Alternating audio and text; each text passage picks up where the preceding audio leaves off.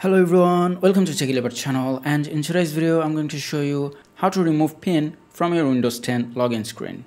Now the method that I'm going to show you today will work every time. There are some other methods but they have some issues so just follow this one along. So what you have to do first is go to start and then go to settings. From here go to accounts. Now in here as you can see this is my Microsoft account.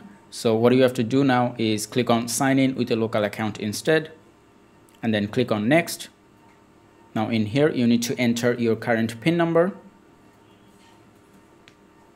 And after that just put in a username.